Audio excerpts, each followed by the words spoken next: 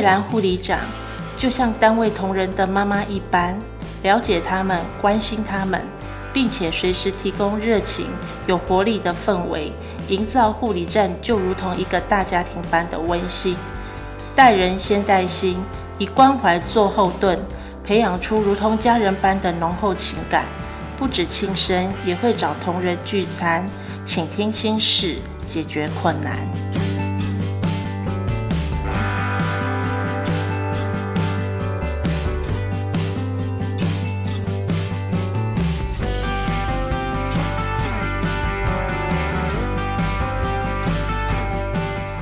长啊，不定时啊，都会在我们这边啊，就是去帮我们举办一些庆生的活动啊，还有去办一些聚餐的那个地方，然后就让我们大家一团，就是一群人一起去外面聚餐。他家让我们在工作的之余啊，就可以让我们借着这些来培养我们的感情，呃，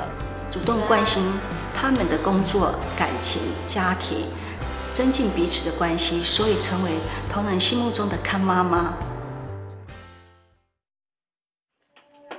康瑞兰护理长拥有一颗慈祥的护理心，不仅关心单位同仁，也能用心感受住院病患的需求与不便。二十八年从事护理工作以来，康瑞兰护理长接触过无数的病人与家属，重新感受到当病痛折磨时，不仅病人难受，连带亲人都有着庞大的身心压力。因此，护理长都会尽量帮忙解决住院期间不便的事情，尽量给予最大的协助与关怀。冰敷是骨科病房最常见的治疗方式，冰敷过程中常会因为翻身、复健等活动而导致冰敷带滑落，影响冰敷效果。康瑞兰护理长看到了病患与家属的需求。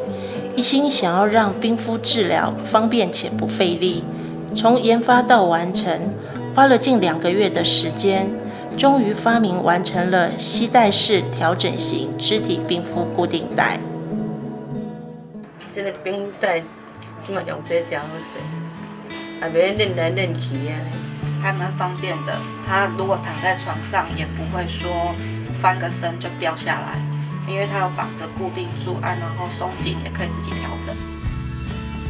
从一百年到一百零三年，参与护理师护士工会全国联合会推动护理创新竞赛活动共三次，这三次的创新作品都获得了佳作的殊荣。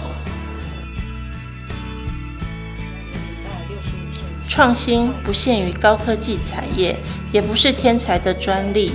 就算平凡的护理人员。只要透过训练和激励，也能研发出作品。希望未来也能将所学经验继续传承，并造福病患。